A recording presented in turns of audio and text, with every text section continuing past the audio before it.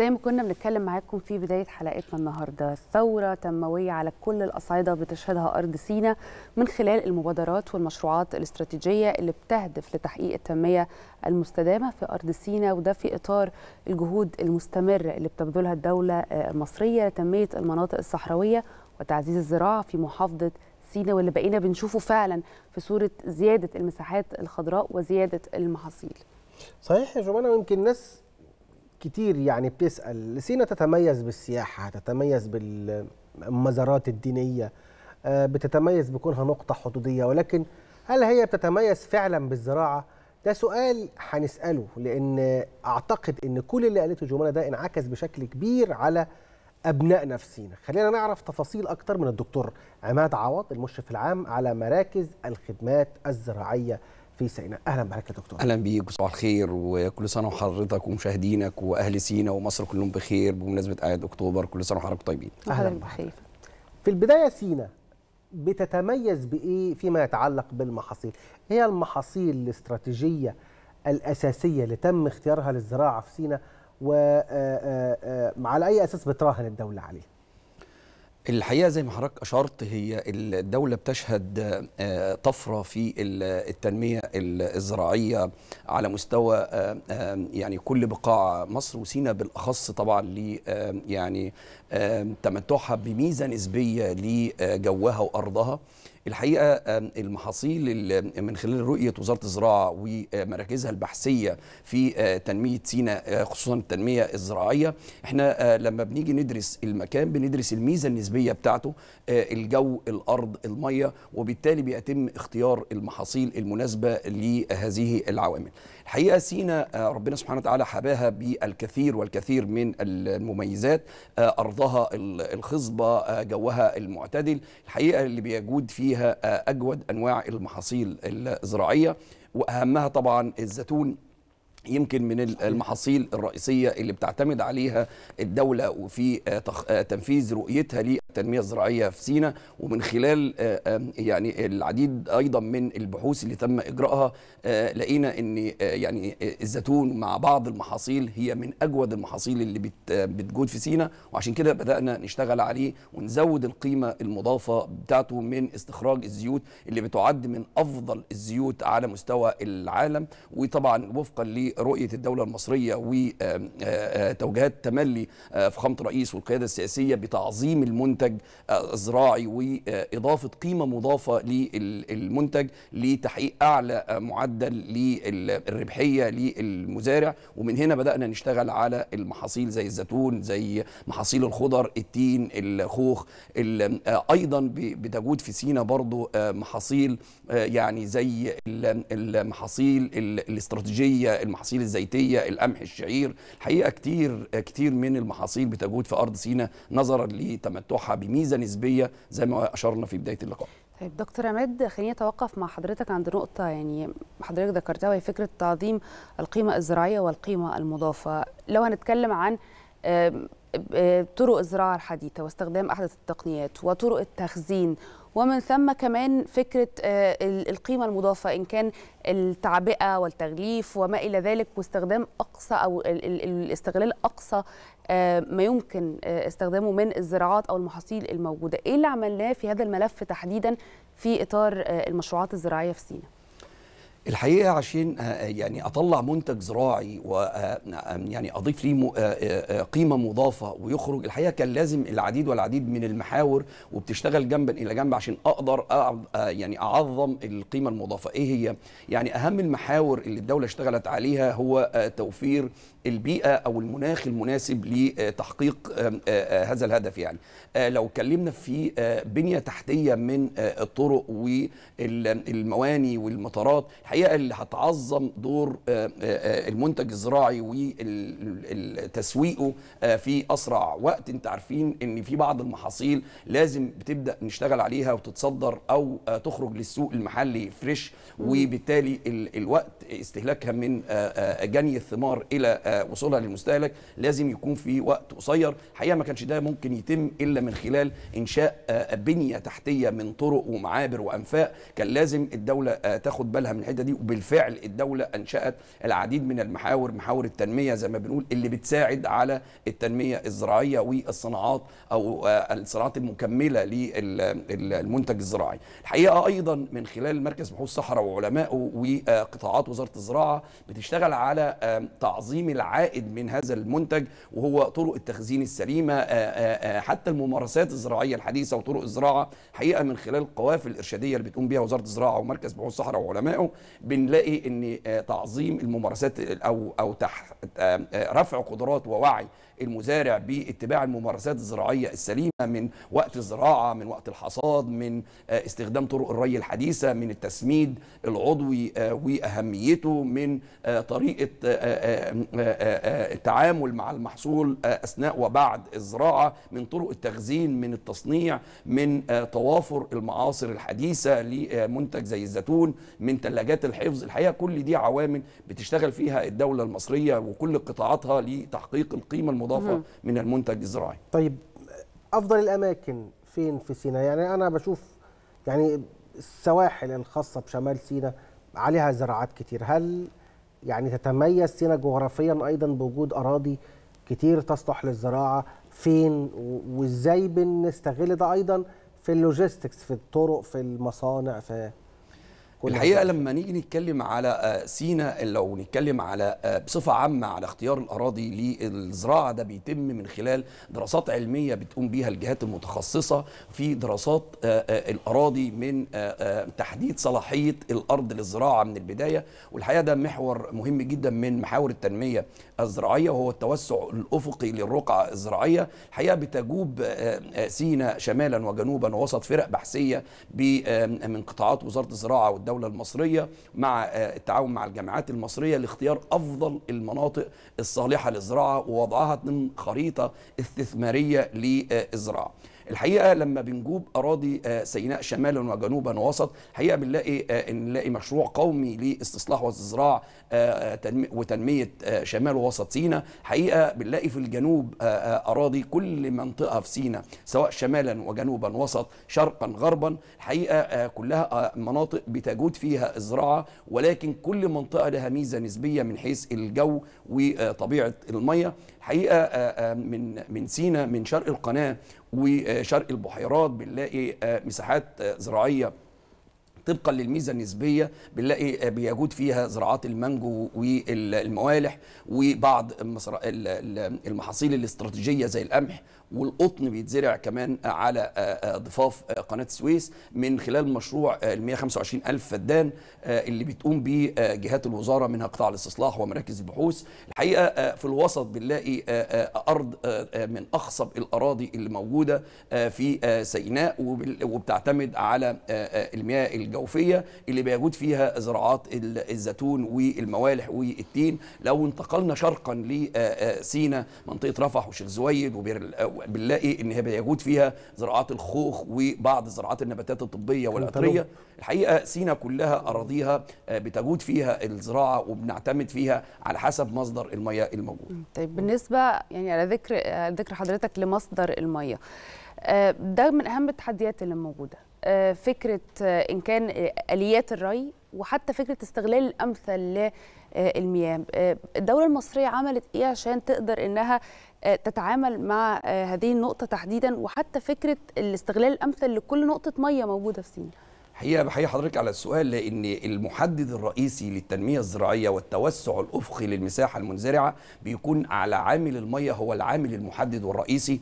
آه وزي ما علمونا أي أرض ممكن تتزرع حتى لو كانت متدنية في آه صلاحيتها ولكن هو عنصر المياه هو العنصر المحدد والرئيسي للزراعة.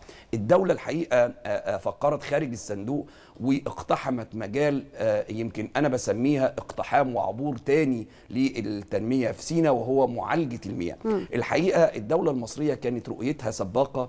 آه، إحنا عارفين إن في تحدي على مستوى العالم طبعاً. كله في ندرة المياه ومصر بالأخص بتعاني من ندرة المياه ويعني كل الأحداث اللي بتمر بيها ال- الإقليم في آه، التغير المناخي وتاثير آه، حصة مصر من ال- المياه النيل. كان لازم مصر آه، آه، بقيادتها تخرج بره الصندوق وتفكر في حلول بديلة. الحقيقة من أهم آه، تلك الحلول وهي معالجة المياه. مصر اقتحمت هذا المجال وأنشأت أكبر محطتين لمعالجة المياه مياه الصرف آه، الزراعي وتحويلهم إلى مياه لري ال- المساحات المنزرعة في سيناء وهي محطة المحسمة ومحطة بحر ال- البقر. حقيقه اللي بينتجوا ما يقرب من 6 مليون متر مكعب من المياه اللي بتضخ في سيناء وبالتالي لما توفرت هذه الكمية من المياه بدأت الدولة تدخل الأراضي اللي تم آه، دراستها للخدمة. عندنا 271 ألف فدان في وسط سيناء آه، من خلال الخطوط الناقله للمياه من ترعه سلام وعندنا 125 ألف فدان على آه، زي ما أشرنا على شرق القناة. الحقيقة آه، كل ما بنزود حصتنا من المية وبنوفر من الإمكانيات المائية بنتوسع في آه، زراعة الأراضي.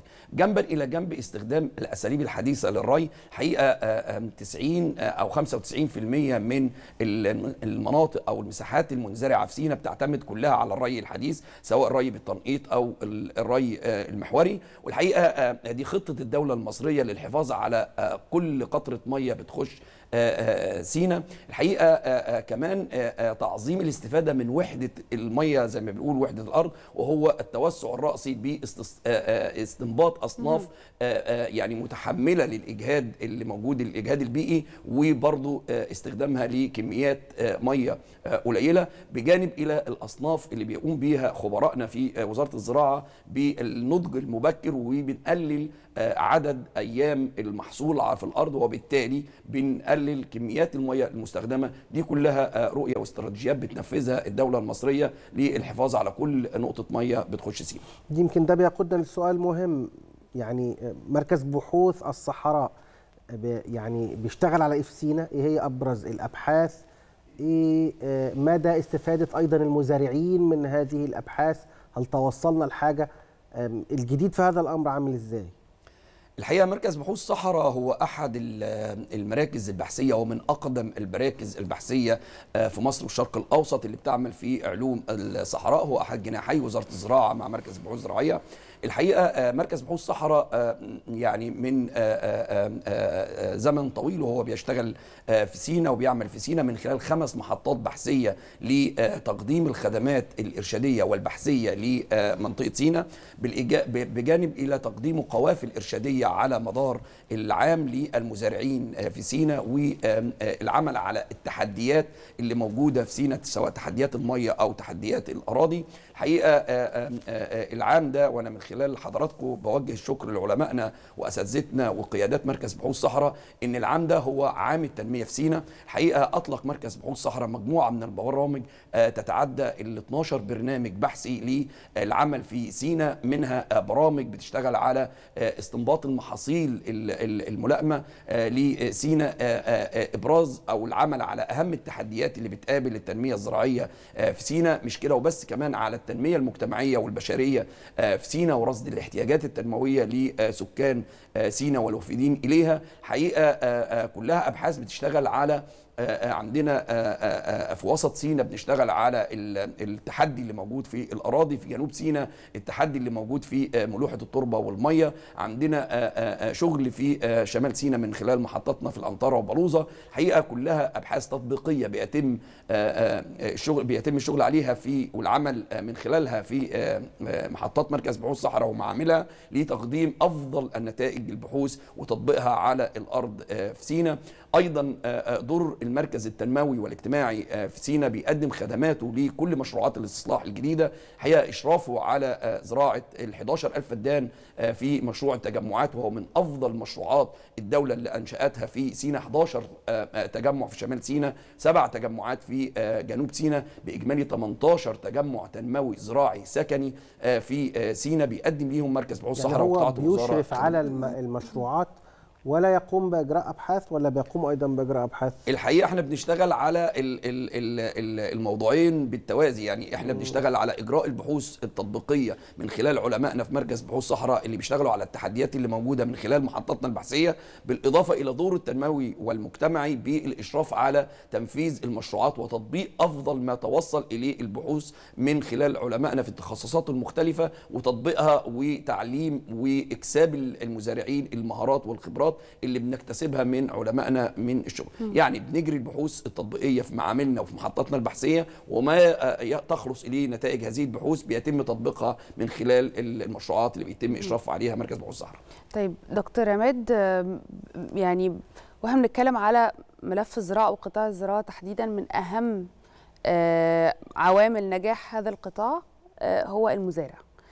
آه، عايزه أعرف من حضرتك بما إن إحنا بنتكلم على نظم ري حديثة و ويمكن محاصيل كمان معدلة حتى آه، تكنولوجيا وما إلى ذلك فده يتطلب مزارع مؤهل وعنده خبرة كافية للتعامل مع نظم الري الحديثة وكل التطور اللي بيحصل في قطاع الزراعة. حتى يمكن العمال اللي بيبقوا موجودين في مراكز الخدمة نفسها العمال اللي بيبقوا موجودين حتى في المصانع لازم كمان يكونوا مؤهلين ومدربين. إيه اللي بيحصل في الملف ده تحديدا؟ الحقيقة هو المحور التنمية اللي المفروض بيحصل للإنسان وبالإنسان.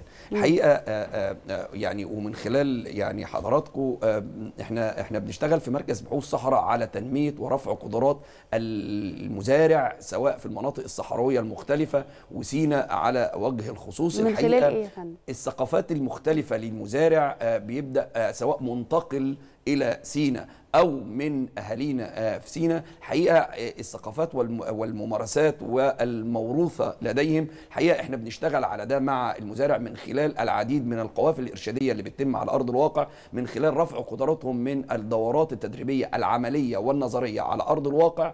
وبالتالي بنعدل آه، من سلوك المزارع في استخداماته زي ما حضرتك اشرتي لاستخدامه للري مثلا. يمكن الثقافات مختلفة إزاي نبدأ نشتغل من مزارع آه، وافد إلى سينا. ثقافته آه، على الري بالغمر واستهلاكه لكميات مية لتحويل هذه الثقافة إلى استخدام الري الحديث. ده بيحتاج تدريب عملي على الأرض. ده بيقوم به خبراء مركز بحوث صحراء ووزارة الزراعة لتعديل هذا السلوك. الحقيقة برضو استخدامه المفرط للأسمدة والكيماويات لوضعها في الأراضي. الحقيقة بنشتغل على المحور ده وهو محور إن إزاي نعتمد على الأسمدة العضوية يعني وضع مقنن سمادي تجزئة المقننات السمادية طرق الزراعة والحصاد. الحقيقة برضو حاجة مهمة جدا بنبدأ نشتغل معاها مع المزارع سواء السيناوي أو الوافد إلى سينا.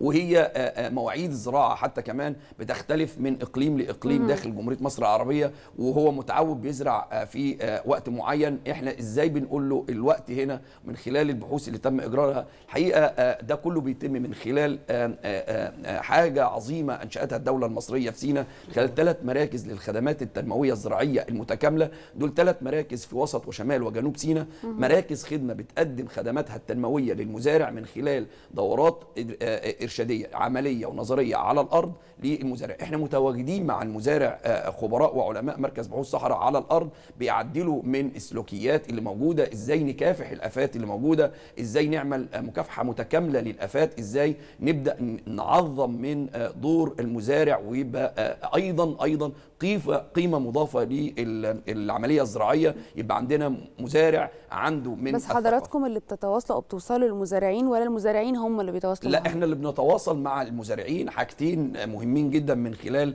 آه، آه، برامج إحنا عاملينها وتطبيقات إحنا عاملينها زي تطبيق آه، اسأل خبير قبل ما تدفع كتير والحقيقة دي يعني مبادرة عملها مركز بحوث الصحراء للتواصل مع مثلا مزارعي التجمعات اللي هم حوالي 2122 مزارع بيتلقوا الخدمة الفورية من خلال تطبيق على الواتساب بيسأل يصحى الصبح يصور المزرعة بتاعته. لو عنده أي آفة عنده أي مشكلة بي بي بي على طول الخبير بيرد عليه قبل ما يبدأ يستهلك حاجات كتيرة جدا. مش كده وبس هو بيطرق أيضا آه، آه، آه، أبواب مركز بحوث صحراء آه، آه، المنتشرة في شمال وسط سيناء لو عنده آه، حاجة محتاج آه، ليها. ثم من خلال برنامج تدريبي آه، على مدار العام في أوقات مختلفة للزراعة منها قبل الزراعة يعني إحنا لسه انتهينا الأسبوع الماضي من تدريب المزارعين على الممارسات الزراعية لتجهيز الأرض وده الوقت المناسب لتجهيز الأرض لإعدادها للموسم الشتوي.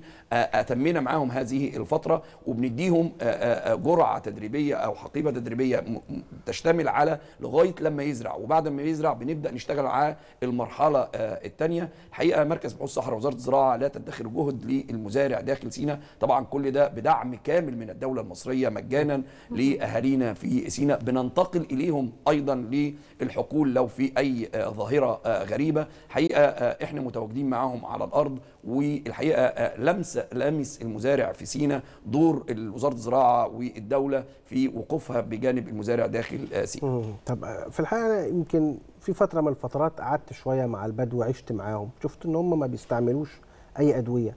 واعتمادهم الكامل على حياتهم وعلى غذائهم من الصحراء ومن خير الصحراء. هم بيسموا ده خير. يعني ال ال العلاج بي بيجي من النباتات اللي إحنا عارفينها. العيب جدا إن هو يستخدم يعني دواء. إحنا استفدنا بقى من التجربة دي. يعني إلى أي مدى؟ استفادت الدولة أيضا من تجربة البدو في النباتات العطرية اللي أعتقد ان هي تجربة مهمة وملهمة أيضا. الحقيقة الصحراء بتفوح وبتخرج منها العديد والعديد من الأسرار اللي إحنا تملي بنتعلمها من أهالينا في البدو وفي سينا. الحقيقة لما بيكتمل الخبرة مع العلم هو هنا بيطلع حاجة كويسة ومشرفة. إحنا من خلال مركز بحوث الصحراء أيضا من خلال قسم النباتات الطبية والعطرية بنشتغل على هذه النباتات وقد إيه بنستخلص منها مواد فعالة لاستخدامها في التداوي والعلاج بالإضافة إلى احتكاكنا الدائم مع البدو في صحاري مصر المختلفه من حلايب وشلاتين للسلوم لبراني لتشكى لسيوه للرفح للشيخ زويد. كل دي المناطق اللي إحنا بنشتغل فيها للأسف يعني للأمانة إحنا كنا محظوظين إن إحنا بنجوب صحاري مصر من شرقها لغربها. بنتعلم كتير جدا من أهالينا في هذه المناطق. والحقيقة من قسم من خلال قسم النباتات الطبية والعطرية بنبدأ نشتغل على استخلاص زي ما قلت لحضرتك المواد الفعالة من بعض النباتات ليها. ثانيا بنعظم القيمة المضافة من هذه من هذه المنتجات أو النباتات داخل الصحراء. بنشتغل من خلال حفظ الأصول الوراثية للعديد من النباتات الطبية والعطرية من خلال بنوك الجينات اللي بيتمتع بيها مركز بحوث الصحراء إحنا يعني بصدد قريب قوي بنفتح أحدث بنك للجينات في راس سدر في جنوب سيناء. ده يعني بيكمل دور بنوك الجينات لحفظ الأصول الوراثية لبعض النباتات اللي موجودة في صحارينا المصر المصرية لحفظ طبعا أصولنا الوراثية من الاندثار عندنا فرق بتجوب من المراعي والاقسام المركز المختلفة لجمع بذور هذه النباتات وعمل إكثار ليها في بعض الأماكن. يعني الحقيقة إحنا بنخوض برضو تحدي آخر وهو التغير المناخي اللي, اللي يعني بيضرب الكثير من دول العالم. إحنا برضو ليس بمنأى من هذا التغير. يعني الحقيقة إحنا بنعتمد في صحارينا المصرية على الفلورا الطبيعية اللي موجودة من خلال تساقط الأمطار على صحارينا المصرية وأوديتنا اللي اللي, اللي بتصغر ب العديد من هذه النباتات. طبعا مع التغير المناخي بنبدأ إحنا نشتغل أيضا على إكثار هذه البذور في معاملنا ومحطاتنا البحثية لنشرها في أماكن أخرى وفق البيئة مم. المتاحة حقيقة كل دي حاجات بيقوم بيها خبرائنا في مركز بحوث الصحراء وبرضه لا نغفل تعاون البدو في كل المناطق اللي بنشتغل فيها في هذه الجزئية تحديدا يعني بكل تأكيد أنا بشكر حضرتك شكرا جزيلا دكتور عماد عوض المشرف العام على مراكز الخدمات الزراعية بسينا. بشكر حضرتك يا فندم وبحييك طبعا على مجهود كبير الحقيقة بتقوموا بيه. شكرا لحضرتك. شكرا يا فندم.